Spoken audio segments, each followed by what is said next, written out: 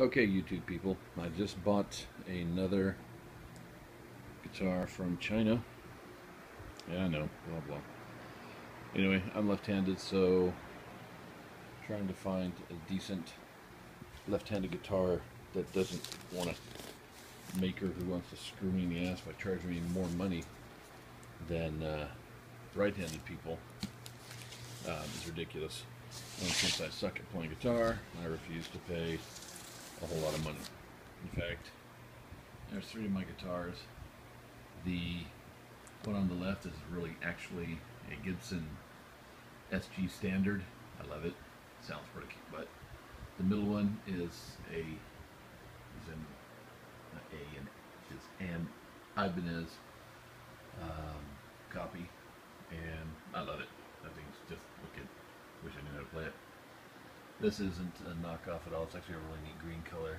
This actually I got this from, from Rondo Music. And this one is going to go right there. So see if we can open this up. Doesn't look like there's any damage to the package.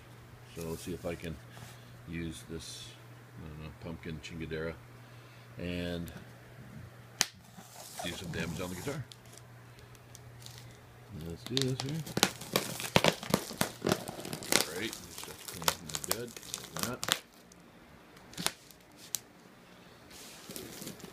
So you're going to see what I see. If this is, whoops, if this is to be decent, this is to be roughly $196 down the toilet.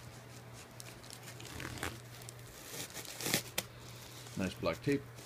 Everything else usually came in uh, yellow tape.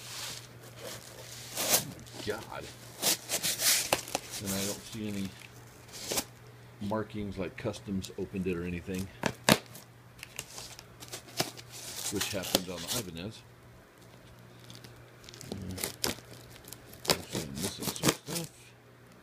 Or maybe they did they just take over alright that side should be done. Or not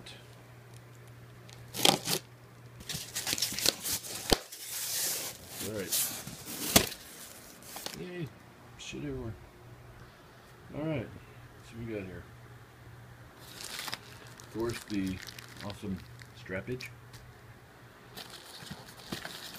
Some goodies, tremolo, uh, cord. Okay, it appears to be lefty. Got a lint. Should be, I paid for it. Alright, let's check out the uh, neck first here. And this came in eight days, by the way, from China to Utah in eight days. That's pretty freaking decent. I was proud of that. All right, well, it does say Fender. Pretty sure we can all guess it's not. Um, nice dark rosewood. I thought it was ebony in the ad. And these will be replaced. I saw a neat little video. They have little rollers. So I'm going to uh, remove those. Not like that's going to help my playing and all, but take this off. Nice. Yep. Definitely smells like the uh, finish is still drying or curing, which is alright. the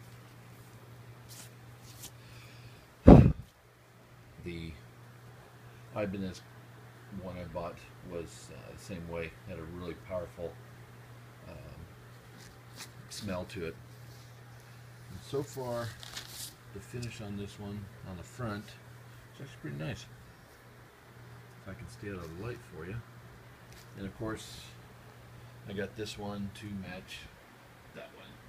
So, I figure what the hell. I didn't have a fender, so I figured I would try something. Oh, I still don't have a fender, actually. um, no, not too bad.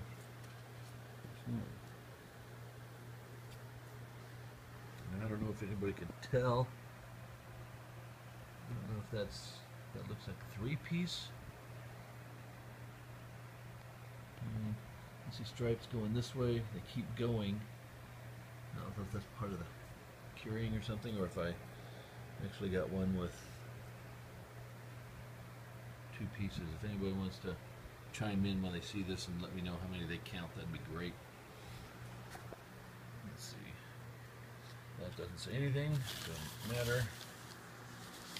Random numbers. Maybe they're lottery numbers because they're not Fender serial numbers. Think we all know that. What is that? Just, no, it's just a, there we go. Some mystery cover to it. Alright. So far so good. I like the way looks. And I think with this one, this is probably going to be my playing guitar that uh, I totally butcher all the songs I don't know how to play yet. But uh, I really like that. I'm not really into the the sunburst finish and everything that uh, everybody seems to like. That's okay, but um, I wanted to try something just a little bit different. I'm probably going to change change these out. Not like it's going to make me sound any better, but um, I want to play with this and um, I've heard some people say they get hums on some of theirs and I'll probably do some shielding or something like that as well but uh, I love the black hardware I actually had seen this and I'll try to put on the, the link where I got it from uh, this is actually their first guitar I think they've sold I took a chance I didn't see any feedback but I figured you know, if worse came to worse, I could, you know, get a discount or something like that. You know, it's you can only expect a certain level of quality anyway. But honestly, I, you know, for what this is, I'm actually pretty impressed. Mess there. With the Ibanez, I got a discount because on this, there's actually what appears to be a fingerprint, a blood red fingerprint on the uh, guitar, which I don't care. I think that's kind of cool. But uh, that one actually was pretty nice as well. I really like that one. I'm sure it's going to sound nice when I figure out how to play the damn thing. But uh, I didn't get a case for this. The uh, case that I had for the Ibanez was another little interesting one, not from this seller, but from a different one. They actually Forgot the E in Prestige, so I own a Prestig. That's actually a very rare knockoff. but uh, anyway, I have to admit, this is pretty badass looking. Um, if my amp was all set up, I would plug it in just to just to fiddle with it and embarrass myself a little more. But uh, anyway, I hope this helps anybody. I'll, like I said, I'll try to put a link in there to the buyer right at the moment. Um, oh, there we go. It's actually more in tune than I thought. Like I said, I'm going to try to do a little setup on this, get this sounding nice, but so far, I have to admit, I'm pretty dang impressed with this. It may not sound good for a while because I suck, but it's going to look freaking pretty kick-ass hanging on the wall, that's for sure. Anyway, I'm out.